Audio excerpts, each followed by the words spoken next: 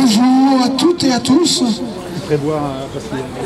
On est à nouveau rassemblés, comme tous les samedis matins. Et donc euh, pour eux, c'est très important que nous soyons là et qu'il y ait une solidarité internationale et qu'il y ait une prise de conscience. Parce qu'ils ne comprennent pas que la communauté internationale ne soit pas plus réactive par rapport à ce qui se passe. Donc dans les témoins palestiniens, sur France 24 avec la paix, une personne ayant requis l'anonymat auprès de l'AFP a expliqué que des camions d'aide se sont approchés trop près de certains chars de l'armée qui se trouvaient dans la zone de, et la foule, des milliers de personnes a pris d'assaut les camions. Ce qui est logique puisqu'ils crèvent de faim et que la nourriture n'arrive absolument pas dans le nord de la bande de Gaza. Et que ces camions n'étaient pas du tout gérés par l'ONU ou, euh, voilà, ou les, structures de l'ONU, mais par les Israéliens directement. Les soldats ont alors tiré sur la foule car les gens s'approchaient trop près des chars. Je le cite. Cela fait deux mois que nous mangeons de la nourriture pour animaux, a-t-il déclaré.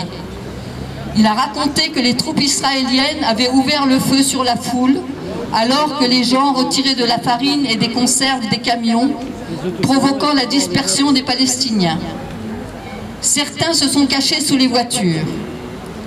Après l'arrêt des tirs, les gens sont retournés au camion. Les soldats ont alors de nouveau ouvert le feu.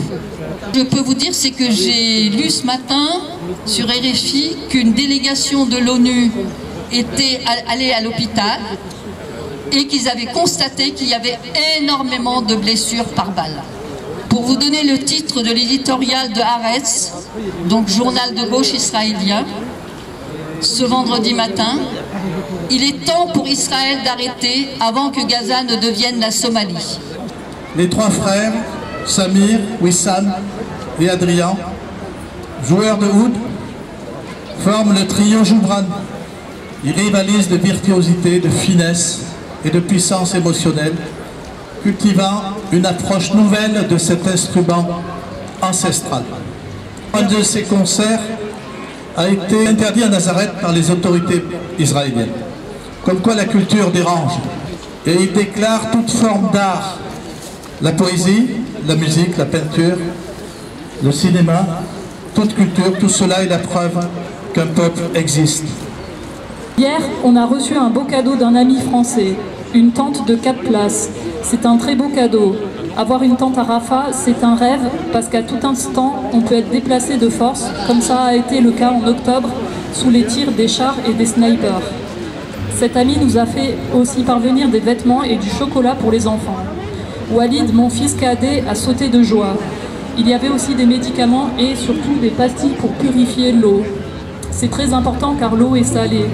Recevoir des colis à Rafah, c'est exceptionnel, cela tient du miracle, c'est extraordinaire.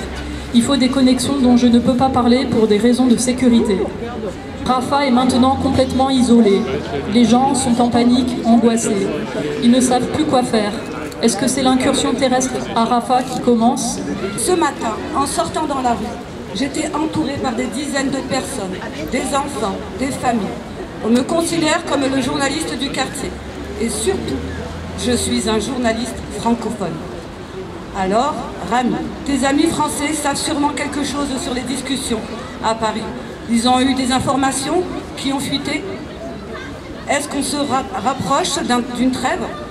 Pour leur remonter le moral, il faut parfois mentir aux gens. S'interroger, j'ai répondu oui, apparemment quelque chose de bien se profile. D'ici le mois du ramadan, tout va s'arrêter. Les États-Unis sont en train de refaire pression sur les Israéliens et les Égyptiens sur le Hamas. On finira par arriver à quelque chose. Tonton Rami, est-ce qu'on va rentrer chez nous? Quand on rentrera, je t'inviterai à manger une pizza. Cet enfant ne sait pas que, euh, que s'il rentre, il n'y aura pas de pizza. Il n'y aura plus de pizza. Il n'y aura plus rien. Tout a été détruit. Il croit que la vie va reprendre comme avant. Je lui ai répondu, oui, bien sûr, tu m'inviteras à manger une pizza et moi, je t'inviterai à manger une glace. On fait des rêves ensemble. Vive la Palestine